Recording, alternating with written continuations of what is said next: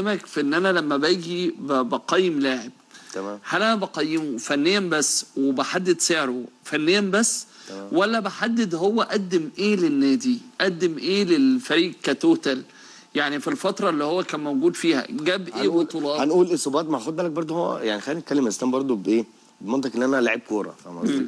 ماشي. برضه هو لعيب كورة ما مش بيلعب لوحده أنت فاهم قصدي؟ يعني ما ينفعش تحمل مسؤولية مثلا على لاعب وإن هو هو اللي مش هو مش هو اللي هيجيب البطولات لوحده انت فاهم قصدي؟ لأن هو هي عناصر معاك يعني فريق كامل متكامل 11 لاعب مدرب باحتياطي فأنا مش هلعب لوحدي. طيب. بس هو كلاعب لا ليه يعني ليه دوره جوه الملعب يعني مؤثر.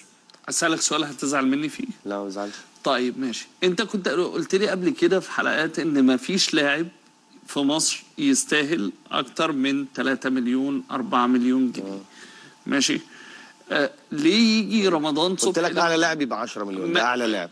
كام؟ 10 مليون. ده اللي أنا قايله. ولو طيب. ترجع للحالات هتلاقينا يقول لك كده أعلى. لاعب في مصر 10 إحنا مليون نمشي. دلوقتي. أعلى لاعب بالنسبة لك كام؟ 10 مليون. 10 مليون. لما النادي الأهلي يعرض على رمضان صبحي 15 مليون. كويس. طيب هل هنا بقى النادي الأهلي بس هو خد بالك هو اللي فارق مع عبد الله آه، مع رمضان إن هو برضو إيه يعني يعني هو مرتبط بنادي في إنجلترا حلو. فهو استغل الحتة دي آه هل وفي نفس الوقت عارف إن المركز بتاعه قليل جدا في مصر حلو. وعارف إن النادي. أثر؟ وعارف إن النادي الأهلي محتاجه في محتاج المركز بتاعه ومحتاجه جوه النادي يعني فاستغ- هل هو فبيستغل ده استغلال موقف المشكلة على فكرة ده كورة يعني دي مش كورة لا بس أنا أنا عارف إن أنا الوحيد اللي مميز يعني النادي دي. اللي هو كورة كده يا إسلام أيوه النادي اللي صاحب آه، الفضل عليه إسلام خلي خلي وشعبية- والنبي يا إسلام شع... يعني إيه يا إبراهيم؟ خلي الشع... خلي الشعارات على جنب واخد بالك؟ الشعارات على جنب خل... ليه؟ خليها على جنب يعني بجد أنا بتمنى حتى. والله الجماهير تبتدي تستوعب ما إن الكورة عشان دلوقتي بنخاطب بقت الجماهير وبنخاطب الولاد خلينا. خلينا من الشعارات فاهم؟ قصدي؟ أنا خلينا خلي الشعارات على جنب عشان والله هو هو الجماهير. دي آه، آه، جماهير بص هو ال- ال- ال- الوحيد اللي بيحب الأهلي والزمالك هي الجماهير. هم دول ال- اللي بينتموا فعلا للأهلي يعني أنت والزمالك. ما كنتش بتحب الأهلي.